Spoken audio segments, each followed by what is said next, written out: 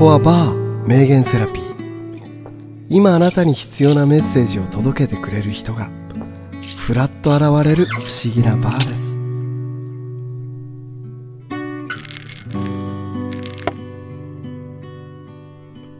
夜空の星たちがあなたをここに連れてきたようですね。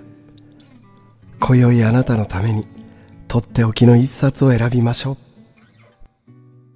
今日は本当の病気の治し方。見るだけで自然治癒力が高まる言葉のお薬です。潜在意識の巨大な力を伝えた作家のジョセフ・マーフィーはこんな法則を明かしています。幸福のことを考えれば幸福になる。惨めなことを考えれば惨めになる。病気のことを考えれば病気になってしまう。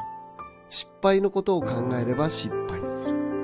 多くの時間を何に視点を合わせてるか。それがあなたの人生になるわけです。では病気になった時はどうすればいいのか。どうしたって病気に意識がいってしまうものです。今日は病気でお悩みの方必見。病気とどう向き合えばいいのか。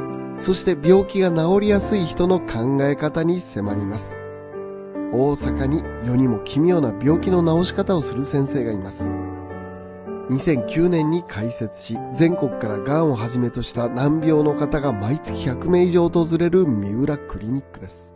その三浦直樹院長と一緒に病気が治る人の予宿思考という本を書かせてもらったのでその時に取材させていただいたんですが三浦クリニックでは患者さんが病気になってよかったという人が結構いるんです。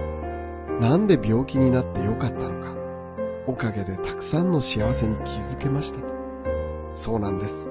三浦クリニックの目指すところは病気になる前よりもっと幸せになることが目標なんです。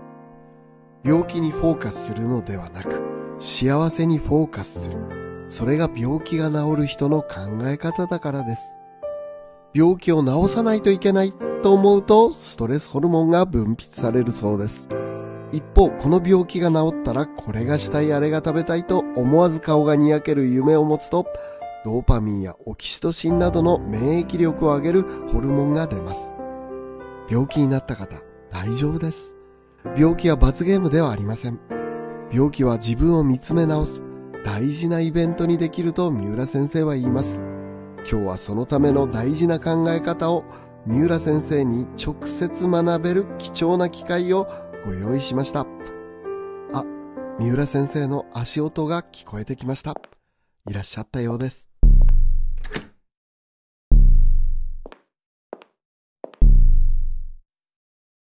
いらっしゃいませ。はい、こんばんは。まあ、名言セラピーへようこそ。はい、よろしくお願いします。乾杯しましょうか。はい、まずは。おめでとうございます。おめでとうございますありがとうございます。マッチね。はい。三浦先生はね、世にも奇妙な病気の治し方をされるんですあよ。、そうなんですか？そうなんです。三浦先生どんな？まあシンプルにこの予宿っていう考え方を使って、はい。患者さんに治った後のイメージをしっかり持っていただく。三浦先生、ヨシクドクターって名乗られてるんど、はいヨシクって古来日本の文化で。はい。先にお祝いしちゃうのね嬉しいことがもう起きてないのに起きたことを起きた前提で先に喜んでお祝いしちゃうっていうのは日本古来の予祝っていう文化なんですよ。治ったらどうしたいのかとか、誰に報告しますか、どこでお祝いしますか、どこ行きましょうかね？とかっていう話をリアルにインタビューしていくみたいなね。治った後のね、はい。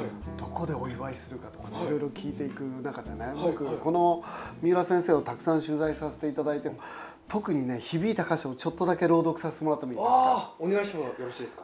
予宿ドクター三浦三浦直樹先生を大阪の三浦クリニックで取材させていただいている時にグッときた話があります。三浦先生は患者さんに「病気が治ったら何かやりたいことはありますか?」と聞くそうですが「ない」と答えた方にはなんとこう切り込むケースがあるそうです、はいであればはい。やりたいことがないんであればはい早く亡くなる方が家族のためには一番いいかもしれませんね。すごい。今亡くなれば保険は下りるしはい。家族も看病しなくて済みますよ。うん何よりあなた自身がね痛みに苦しむこともなくなればこの先苦しむこともないからうん。ドキッとするでしょ。まあ、もちろんみ全ての人にそうこういうわけじゃないんだけど人を見てねこう言うそうなんです。うでその後ね今後の人生は病気を治すためにあるんですか？それとも人生を楽しむためにあるんですか？ってね病気治った後にやりたいことがないっていう人にはい、こう聞くのね。うん、めちゃめちゃ本質的でしょ？そうですね。最後ここは感動するんだけどもしあなたが一つでも病気が治ったらこうしたいというものがあったら私たちは全力で応援します。かっこいい。それはあの喫茶店のコーヒーが飲みたいとかあそこのパスタが食べたいとかあの人に会いたいとかどんなことでもいいです。一つでもこれしたいあれしたいというのがあれば私たちスタッフは全力であなたを応援します。一緒に頑張っていきましょうっていうね最高です。そう。だからね病気が治るがゴールじゃないんですよ三浦先生の。幸せになるっていうのがねゴールで病気になったおかげで病気になる前よりもっと幸せになれるよっていうねドクターなんですよやばいでしょ。やばいやばい。世にも奇妙なドクターでしょ、はい4人ですねだからね、ときめく治療をするのが大事だって。えちょっと待ってくださいまだわかんない。ときめく治療って何なんですか？そのあたりから聞いていきましょう、はい。いやこれやったら治るんじゃないかなって、なんかこの治療楽しそうっていうのはい。を、あ患者さん側がですね。うんそうです、だから医者が、い。例えば三浦式治療なんとか治療法とかって、うん。無理やり全員に押し付けるわけじゃなくて、うん患者さん今ネットでいろんな情報を見見つけてくるんでそれいいんじゃない？とかやりたかったらやろうよって、サポートは当然しますよ、はい。あんまりにもおかしいことはちょっとやったらダメだよって言うけど、理にかなってることだったら、ん。あなたがときめくんならやればってそれが一番効くと思いますよっていう。ときめきを大事にするね、はいはいはい。ドクターな最初は食事療法とか予防医学だけやってたんですけど、はいはい。患者さんがやりたいっていうリクエストが多いから知らない間になんか治療メニューがいっぱいになっちゃったっていう、めっちゃすごいですね。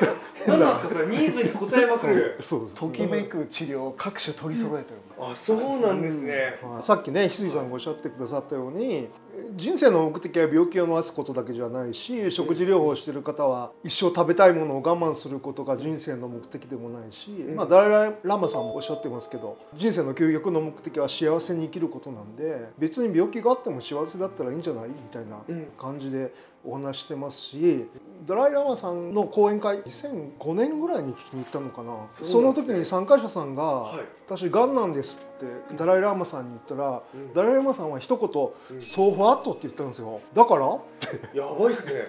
だからないんですだから何？だから何？なんですよ「がんってダメなの?」みたいな、うん。うん、話で別にあってもいいじゃんみたいな話をずっとされてて僕もそうだなと思って病気はあんまり治すつもりがない医者なんで、はい。そうなんですね。新しすぎる。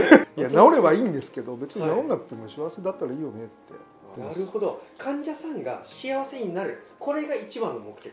うん、やっぱねはい。このわざわざ3次元の不自由な肉体を生まれ持ってきてる我々この体で体験を積み重ねてそれを喜怒哀楽楽しんでいくっていうことだと思うので味わって生きればいいんじゃないですかっていう話ですね。三浦先生のところは治ったら何したいっていうね顔がにやける夢を考えていくところからスタートするのあそうなんですよ顔がにやけないとダメなの。顔にやけないとダメなんですね。マッチ顔にやける夢ななんかある？あありますあります。あのーたらこパスタをお皿に大皿にいっぱい乗っかっててそれをなんか目の前にした時ににやけますね。それでいいと思いますよ。俺も明太子ご飯にはい。たっぷりのっけるとすごいの。そうっすよね。えそういう夢を患者さんに描いてもらう？そうですね。あのうちではね、あの一日の中ではい。嬉しかったことを3つぐらいだけでいいので、い。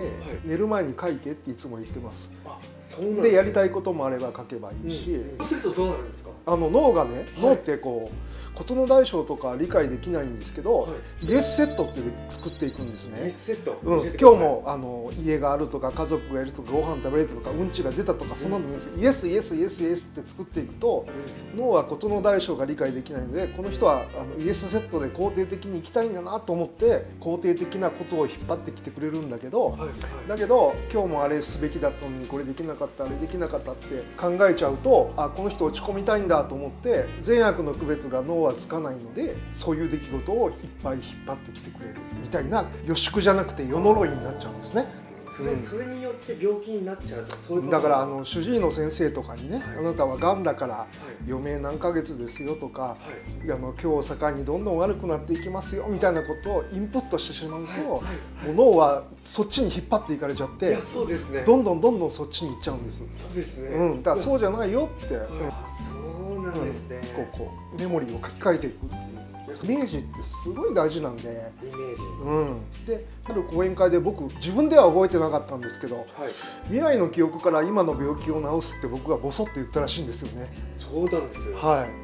そこになんか翡翠さんが引っかかってくださって。三浦先生昔からこの凝縮思考やってたんですか？いや基本ははい。すごいネガティブな人ですあそうなんですね。え三浦先生自身が、はい。あそうなんですね、うん。これなんで医療にこれを取り入れてみようって思ったんですか？いやどうせやるなら楽しい方がいいなって単純に思ったんですよね。なんかこうはい。医療ドラマとか見てると、がん患者さんは辛く悲しく死んでいかないといけないみたいな。そうなんですよね。ね。イメージあります。うん、日本中を挙げてネガティブなイメージングっていうか、はい。プロモーションをそんな映画とかドラマばっかりやってるので。そうですそうですで現場そうじゃないしね。って笑いながら治ってる人もいっぱいいるし、笑いながら治ってる人もいっぱいいるんですね、うん、でもドラマの影響ではい。がんになったら深刻になっちゃうもんだっていうイメージが刷り込まれてるからそこに引っ張られてっちゃうけど、がんイコール死みたいな笑いながら治るっていうのはあの真剣にはいろんなことされてるんですよ、ううん。だけどどうせやるんだったら楽しんでやってイメージ使ったりこう予宿がすごく上手な患者さんとかがね結果的に良くなった人たくさんいるんで。ちょっと実例聞かせていただいてもいいですか、うん。最初は患者さんで来たんですけど、はい。僕らと気があって後々うちのスタッフになるんですけどね。すごい。何なんですか、それ？彼女は、はい。乳がんになってうちに来た時はもう余命3ヶ月って言われて余命3ヶ月って、うん。主治医さんに言われて。そうなんですよ、はい。でそこから予宿の話をして予宿インタビューとかすごいしたんですね。で何したいって言ったらはい。彼女は着付けが趣味で、うんうん着物を着てハワイの街を歩いて、ヒューヒュー言われたいって言ったんですよ、それは顔にやつきますね、じゃあそれしようよって言って、結局ねうちに来てから3年後ぐらいに実際にハワイに一緒に行ったんですよ。一緒に行ったんですか、はい。そんなことしてくれるんですか、はい。お医者さんが。え行こうって言ってえみんなで。みんなでスタッフも行って、はい。はい。はい。彼女はハワイで浴衣を着てはいもうみんなからヒューヒュー言われて一緒に写真撮ってとかってバシバシ写真撮られて、スターハリウッドスターみたいになってました。3ヶ月だったのに3年うん。3年後にそういううん夢があったんですよ、うん。そうなんですよ、これ何なんですかこのギャップは？まあ、とにかく楽しむのが上手なはい。女性だったんではい。家族でもみんなで予宿ゲームをお子さんとかとはい。一緒にわーってやってそれで元気になったみたいですね。楽しむことを続けてたら元気になるんですよ。まあホルモンバランスってそういうもんなんでね。へはい。だって三浦先生のクリニックってさはい。目指してるとこ他のクリニックがライバルじゃないのよあそうなんですか。ディズニーランドがライバルめちゃやばいじゃないですか。何なんですかそテれーマパーク目指してなんですかそれ三浦クリニックってテーマパーク目指してる。そうなんですね、うん。だって病気になったおかげでもっと幸せになる場所を作ろうと思ってるから、でもう三浦先生のクリニックの入り口設定してるんだって、この三浦先生のクリニックを入ったらはい。病気になる前よりもっと幸せになる扉だって決めてるんだって。何でもね思ったもん勝ちなんで、はい。あのみんなが元気になるあの伝統とかね勝手に決めちゃうんですよ、みんなが元気になる伝統。でそうなんですね、はい、この椅子座ったら絶対元気になる元気になる椅子しかもミラクリニックさんはい。は病気になって深刻な感じではい。深刻な状況になってると、はい。アカデミー賞って言われちゃあどまアカデミー賞の賞は症状の賞。あそうなんですね。深刻な症状をはい。刷り込まれて演じちゃってる状況をアカデミー賞ってなるほど。そうなんですね。だからまあみんななんかがんって言われると辛く悲しく死んでいかないといけないっていうテレビの、はい。えとか映画の女優さんをはい。みんな演じ出すんですよ。ああなるほど、はい。で家族もそうやってやるから、うん。今のままでいくとあなたアカデミー賞ですよ。ご家族は主演女優賞もらえますよっていう話をするんです。なるほど、うん。ど本当はそこじゃないですもんね。はい。本当はその亡くなる方の未来を選びたいんじゃなくてハッピーに一緒に過ごしたい未来を選びたいですもんね、うん、あの元気な人には言うんですけどやっぱり僕ら、ね、医者が多少薬が使えて医学の知識があるって言ってもはい。200歳まで生きれるわけではないのでうん。いつか肉体卒業する日は必ずみんな来るので、うん。その日までどれだけみんなで楽しく生きていけるかっていうことであの長い短いじゃなくってねうんうんうん。密度の問題だと思うので楽しく生きましょうねみたいないろんな治療もやり尽くして食事療法もやり尽くして全然治んなくて転院転院転院っていろんなとこにがんが飛んじゃって先生私もう疲れたっておっしゃった患者さんがいるんでやりたいことやろう。食べたいもの食べなって言ったらうん彼女は私世界一周したいって言ったから行ってきたらいいじゃん。って言って半年ぐらい行かれたらもはい。う食べ食べたいもの食べて好きな服着て、はい。やりたいことやって半年帰って帰ってきたらがんが全部消えてたっていう人も。やば。もう世にも奇妙な病気の治し方です 何なんですかその話。じゃあ先先生私お金全部使っちゃうんですけどどうしたらいいですかって相談されて。でも元気になってるんですよね。元気になったから働けばいいじゃんって言って終わったんですけど、はい。うん。そんな人もいますね。こんな事例いっぱいあるんですか？結構おられますね、うん、まあ全ての人がねそんな治るっていう無責任なことは言えないけども、そうじゃない人もたくさんいるのであの軽々しくこういうところであのこういう話をしてはいけないとは思ってるんですけどただまあ一般的な病院で言われる余命宣告っていう期間よりはうちの患者さんはみんな長い人が多いかなっていう感じなのとお亡くなりになったとしてもハッピーなうん。看取りっていうのをさせてもらえることが多いかな。やっぱがんの人たくさん見てるんで看取りっていうのも当然あるんですけど辛く悲しい看取りじゃなくてよかったねっていうような家族の人がトラウマを残さずに精一杯やってみんなで笑いながらご苦労様って言えるような看取りができたらいいなと思ってますね。あの、ちょうど僕はものの見方のね小林聖華先生からやっぱりその病気も含めて全ての亡くなる日っていうのはもう寿命なんだと、うんだからもうある程度生まれた時から決まってるっていうようなね聖華先生はそういう見方だったんだよね。だからもちろん全ての病気が治るわけでもないんだけど僕三浦先生のクリニックが素晴らしいなと思うのは通常クリニック行くと病院行くとほとんど先生があのパソコン見てるんだよねデータ。ずっと。目を見てずっとしゃ話をするっていうケースほぼないと思うんだけど三浦先生その問診をちゃんと見てそこに話をちゃんと聞いてくれてその人に合うものをねその見出そうとしてくれてるっていうところだけでも世にも奇妙なドクターだと思うんだよね。そうですね。そうですねうちの診察室パソコンないんですよ。パソコンないんですか？はい、そうなんですね。置いてないの置いてないです。あそう見ないあ。ったら見たくなっちゃったはい。あそうなんでですね。もパソコンよりもっと大事なことがある。三浦先生はその顔の層も見れるから顔から病気がわかるんですね。あそんな本書いてますね。えー、そんな本も書いてるんですか？顔を見れば隠れた病気がわかるっていう本を一応出してます。はい。だ。からマッチの顔見たらもうチョコばっかり食べてる顔だなって分かってますチョコ顔明太子顔ですね。明太子。違う。大正解です。大正解ですあの東洋薬をベースでやってるので、あの脈とかはい。顔とか舌とか、あの今の医学っていうのは CT 取ったり血液検査したりこう見えないとこばっかり病気探すんですけど、はい。ちゃんと見えてるところに症状出てますからっていうことで、昔のお医者さんってみんなそうやって診察してたわけだし。なるほど、うん、今の時代だから両方当然やるんだけど、うん。見えてるところにも情報いっぱいありますよねでもそれは今の医学教育では教えてくれないので、まあ、僕は個人的な考えでそういうのをずっと勉強してきてるので、はい。そういう診察もしますけど前回に比べて今日はどうかなっていうような顔色の変化とか舌の変化とか脈の変化とかっていうのをあんまり見るお医者さんが今うん。いないので結構それだけでも今の患者さんってねはい。手触ってもらったの病院で初めてですとか？って言われる人もいてね、だってさ病院ってさは治ったらい。はいどんな顔がニヤニヤするどんなことしてみたいですか？って聞かれたことないでしょ。一回もないですこの肺炎が治ったらどんなことをしたいですか？聞かれたことないですよ。なんでこの病気治したいの？っていうところから始まりますすごいな。んでな治したいの？病気でなんで悪いんですか？っていう、うん、病気は罰ゲームじゃないっていう向き合い方だよ向き合いね方っすね。新しい病気との向き合い方他のお医者さんには全くない奇妙感が。奇妙感がすごいですね。奇妙感すごいの。はいまあ、病気の反対語って何ですかってよく講演とかでも聞くんですけど、うん。はい。まあ、元気ってよく皆さん言われるんですけど健康とかね。元気って元の気に戻る状態だから、まあ、それはそれで大切なんだけど気が病むって書いて病気じゃないですか、はいはい。まあ、そうじゃなくて気が楽になった方がいいので気楽っていうのが病気の反対語ですよっていつも僕は言うんですけど気楽ってまあヘラヘラするっていう意味ではなくて、まあ、英語で言うと「take it easy」みたいな感じでこうリラックスして病気と向き合っていくっていう状態が本当は自律神経的にも一番リラックスして血流が良くなって体も温まって一番お薬が効く状態みたいな免疫力が上がる状態みたいなイメージなんでだから病気治すためにこんなもん食べないといかんのかとか、はいこれせなあかんのかこれ我慢せなあかんのかってやってても結局こう過緊張の状態でやってるからあんまり効かないんですよね。なんか裏でこそこそ食べたいもの食べてる人の方が良くなったりするんで面白いですよね。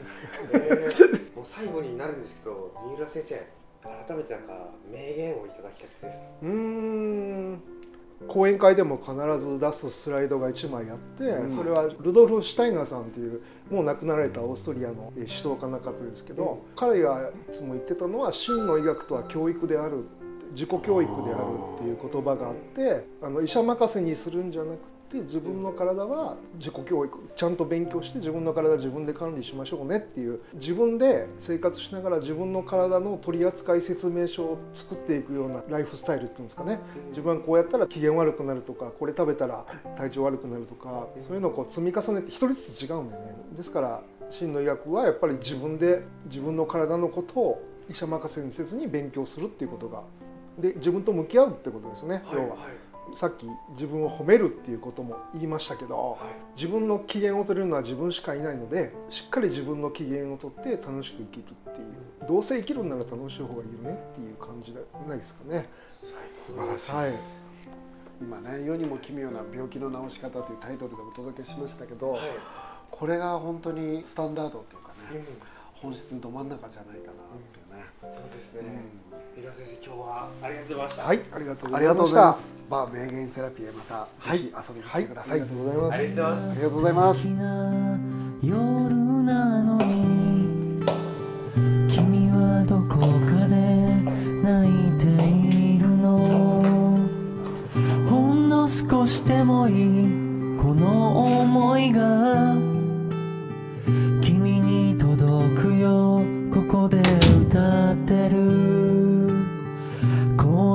界は素晴らしい。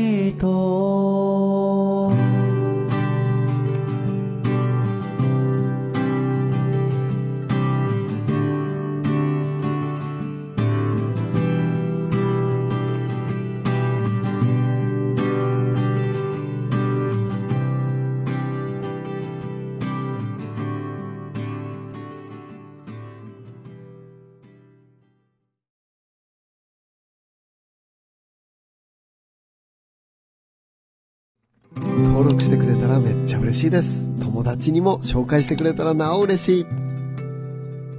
宇宙はとてつもなく素晴らしいことをあなたに起こしてくれます。おめでとう